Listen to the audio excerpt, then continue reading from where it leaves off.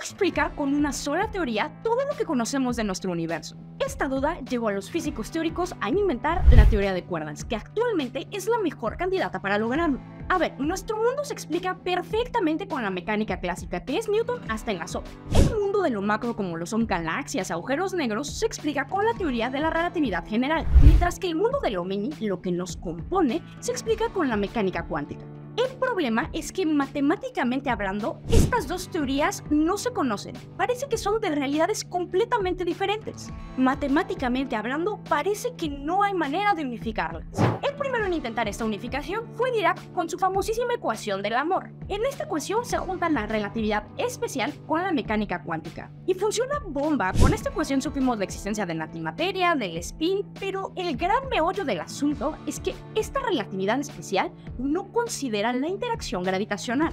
Es decir, esta ecuación no unifica lo que queremos. A ver, la relatividad especial une el momento, la inercia que nos enseñó Galileo, con las ecuaciones de Maxwell. Así es como supimos de la cuarta dimensión temporal y un montonal de cosas, pero para la gran teoría de la gravitación, Albert Einstein tendrá que trabajar 10 años más. Así es como surge su idea más feliz y que entiende que a la luz también le afecta la gravedad, pero para eso no hay unificación aún.